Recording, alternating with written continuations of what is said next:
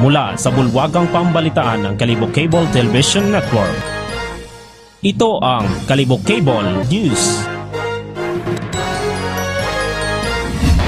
Magandang araw probinsya ng Aklan, magandang araw Kalibo. Ito ang Kalibo Cable News. Narito ang unang balita sa araw na ito.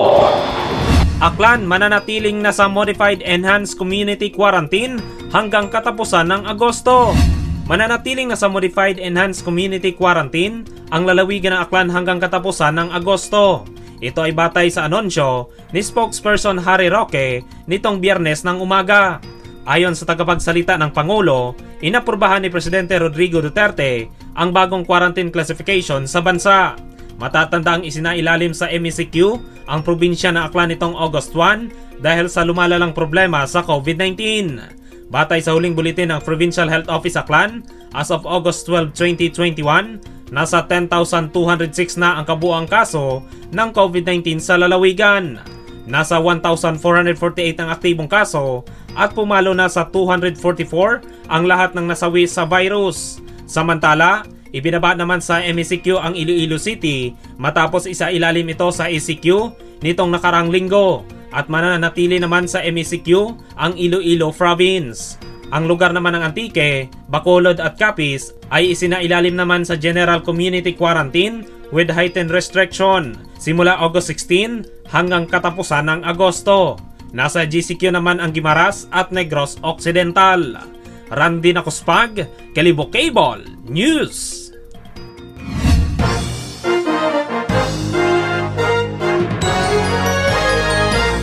No Movement Sunday sa Kalibo, dinalakay sa committee hearing kung ito'y ipapatupad.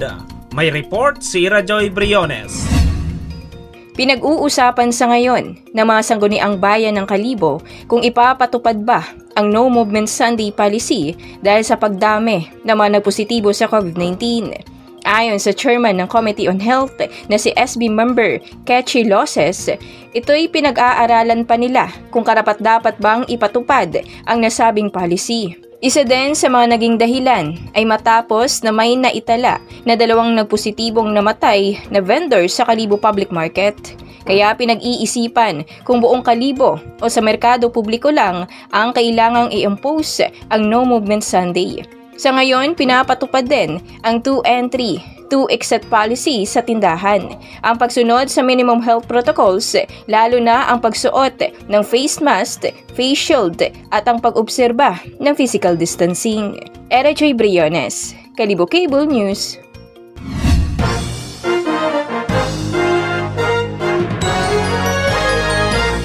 Aklan nasungkit ang Grand Champion sa isinagawang National Kabataan kontra Droga at Terorismo Cultural and Arts Contest. May report si Jorile Vicente. Nasungkit ng isang kabataang aklanon ang Grand Champion matapos lumahok sa ginanap na National Kabataan kontra Droga at Terorismo Cultural and Arts Contest Spoken Poetry category na inorganisa ng Philippine National Police Quezon City. Ang nanalo ay kinilala na si Mr. Alfred Hinoy, third year student ng Aklan State University New Washington Campus, kumukuha ng kursong Bachelor of Secondary Education, major in Filipino. Siya ay naging representante ng Kabataan kontra Droga at Terorismo New Washington Chapter at nakipagkompetensya sa 30 iba pang nakilahok sa nasabing paligsahan mula sa iba't ibang rehiyon sa buong Pilipinas. Ang pamagat ng biyasang ito ay salmo sa pagsabat. Ting, ting, ting.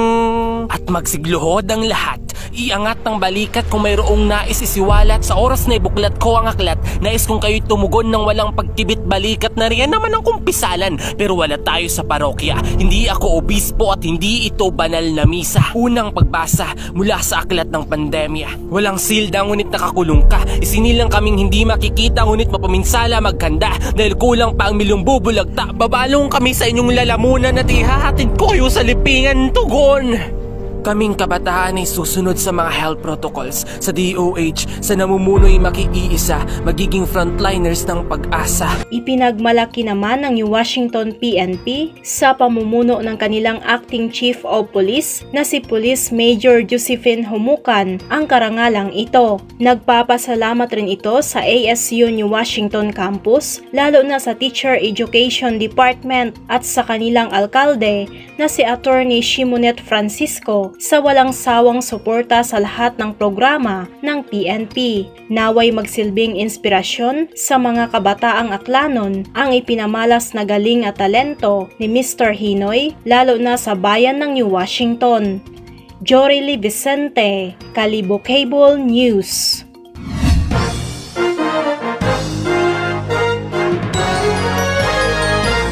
LTO naglabas ng listahan ng Authorized Private Motor Vehicle Inspection Centers. May report si Rio Trico.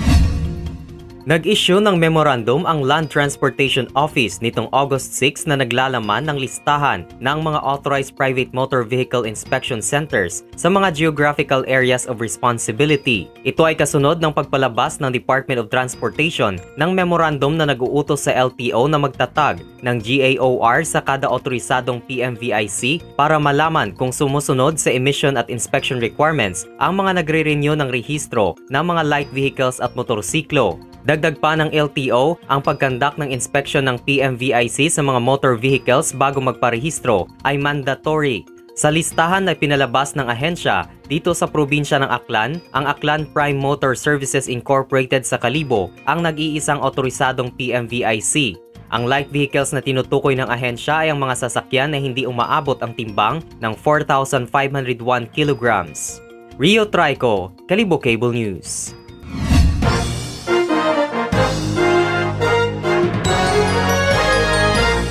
Malay Fire Station kinilala bilang Best Municipal Fire Station sa buong Western Visayas. May report si Jorele Vicente. Kinilala ang Malay Fire Station bilang Best Municipal Fire Station sa buong Western Visayas sa isinagawang 30th anniversary ng Bureau of Fire Protection na may temang salamin ng nakaraan, larawan ng kinabukasan na ginanap sa Regional Office nitong nakaraang August 10, 2021. Tinanggap naman ni Acting Municipal Fire Marshal Inspector Macario Montanya Jr. ang plaque of recognition sa awarding ceremony. Ito ay matapos magkaroon ang Malay Fire Station ng pinakamataas na rating para maging kwalipikado na the Best Municipal Fire Station of the Year base sa mga programa at aktibidades ng BFP at pagiging aktibo ng mga BFP personnel. Jorely Vicente, Kalibo Cable News.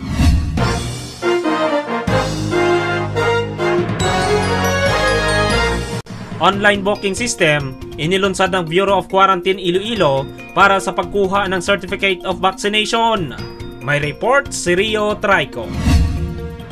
Nag-anunsyo ang Bureau of Quarantine Iloilo sa pamamagitan ng kanilang Facebook page na handa na ang opisina na tumanggap ng online application para makakuha ng International Certificate of Vaccination o ICV para sa COVID-19 na karaniwang requirement ng mga bumabiyahe abroad gaya ng OFWs, seafarers at mga turista.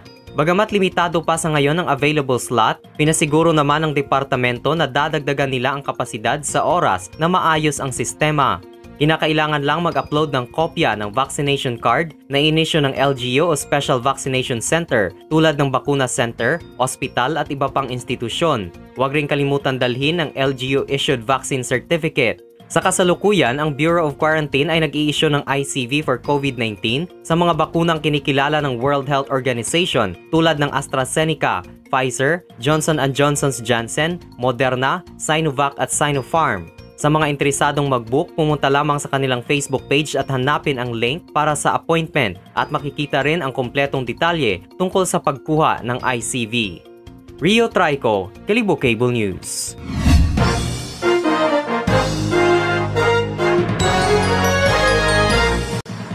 Pfizer vaccine kontra COVID-19 dumating na sa bansa. May report si Isa May Saulda. Dumating na sa Pilipinas ang mahigit sa 800,000 doses ng Pfizer vaccine kontra COVID-19 na pinili ng national government. Ipinahayag naman ni National Task Force Against COVID-19 Chief Implementer Carlito Galvez Jr.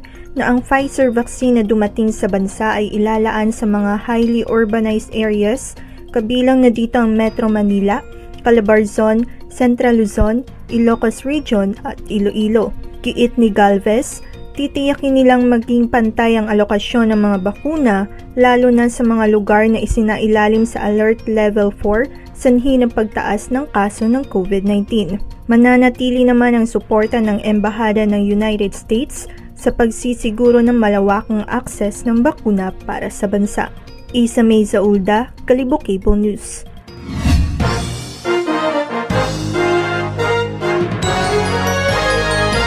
National Vaccination Passports, pinapadali ang pag-aproba. May report si Rajoy Briones. Pinapabilis ang pag-aproba sa panukalang National Vaccination Passports na kilalanin sa buong mundo para maiwasan ang pagharang sa mga Pilipinong babiyahe sa ibang bansa.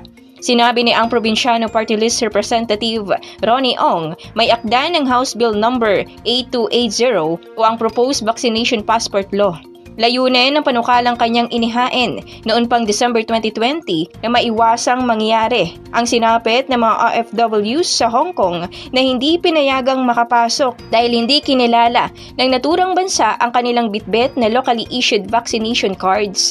Anya, kung mas naging proactive lang ang pamahalaan sa paggawa ng National Vaccination Database at National Vaccination Card, maayos sanang nakapasok ang mga OFWs sa Hong Kong. Dagdag din ito na hindi masisisi ang Hong Kong sa hindi pagkilala sa vaccination cards ng mga inbound OFWs dahil wala naman talagang paraan para maberipika ang authenticity ng kanilang mga dokumento.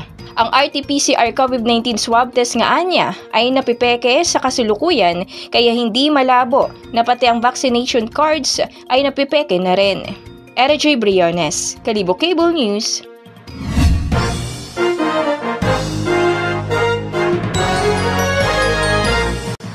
Mga buntis maaari nang mabakunahan kontra COVID-19.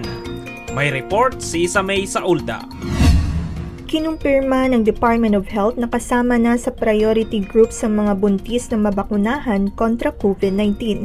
Ayon kay Health Undersecretary Maria Rosario Vergire, babaguhin na ng ahensya ang guidelines upang mapalawak ang sakop ng 83 priority groups at maisama rito ang mga buntis. Base sa naging rekomendasyon ng mga eksperto, Ligtas naman umano ang bakuna para sa mga buntis pero mas maiging isagawa ito sa kanilang ikalawa o trimester ng pagbubuntis. Tinayak naman ni Verhire na maaari namang mabakunahan ang mga buntis na nasa high risk basta't na ipaliwanag sa kanila ang benepisyo at peligro nito pati kinailangan na mayroon silang medical clearance mula sa kanilang doktor. Isa May Zaulda, Palibok Cable News.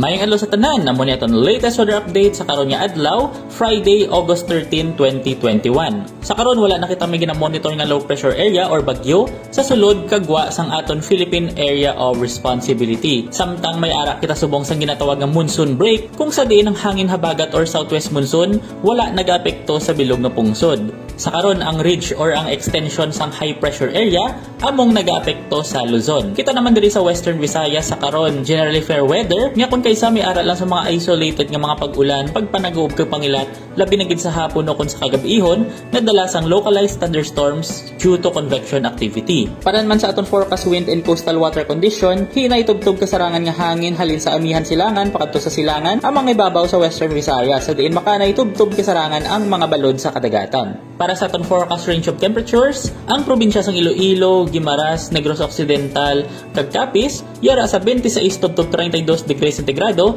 samtang ang probinsya sang Antique kag Aklan yara sa 25 tubtob 31 degrees centigrado. Ang aton nga adlaw matunod karon alas 6:09 sang hapon, mabutlak buwas alas 5:40 sang kaagahon. Kagamuni ang aton latest weather update sa karon nga adlaw para sa mga dugang nga impormasyon bisitaha lang ang aton official website www.bagong.pag-asa.dost.gov.ph pati na ang aton mga social media accounts. Halin diri sa Iloilo Doppler Radar Station, Pag-asa Visayas DOST.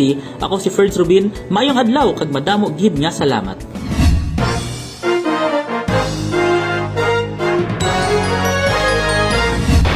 At iyan ang mga nakalap na balita sa araw nito. Ako po si Randy Nakuspag. Ito ang Kalibok Cable News. Magandang araw!